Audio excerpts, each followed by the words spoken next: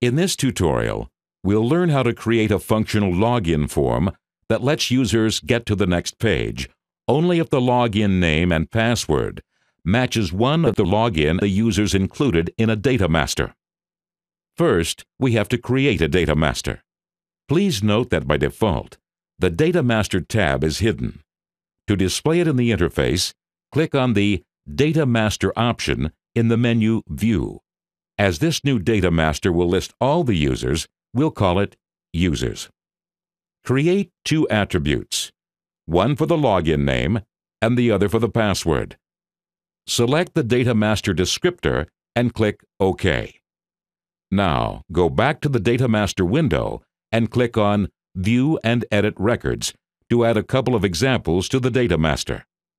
Now, dragging and dropping the data master on the canvas, you'll automatically create the login form.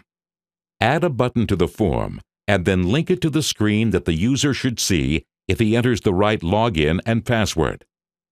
To assess the accuracy of the login and password, we need to add a condition to the event. Use the function filter to set the type of condition. In the first square, drag the data master users from which the data will be filtered. In the second, put an equal sign from the General tab. New squares are created. In the first gap, drag the login name attribute from the Data Master tab, and in the second, drag the login text field. Now, drag the function ampersand to include the password in the condition. Using the same equal function, put the password attribute of the Data Master in the first square and the password field in the second. The current expression returns the name and password matching the form, but it's not a condition per se. To complete the condition, we need to state if it's true or false.